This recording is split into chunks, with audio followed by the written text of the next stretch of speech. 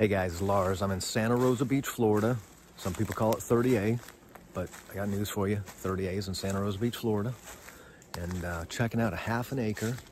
Is what about a half an acre looks like in the rural part of Santa Rosa Beach, Florida.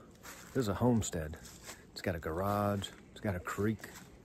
It's got frogs. Bet you it's even got a snake. Friendly snakes though.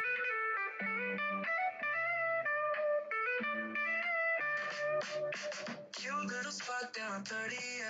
Santa Rosa stands where we play. Nature's glory in every plot. Beach house dreams, though they can't be bought. Palm trees, whisper waves, crash the shore. Nature all around, can't ask for more. Barbecue and laughter under the moon. Every day's a party, summer comes too soon. Life's so sweet by the ocean's edge. Living carefree on nature's pledge. Santa Rosa smiles in the golden light.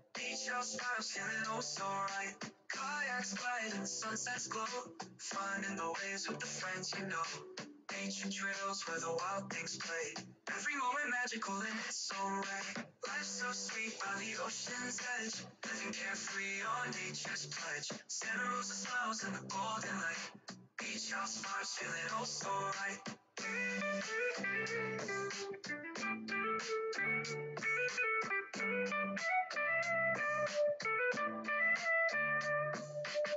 Days blend in with the salty breeze.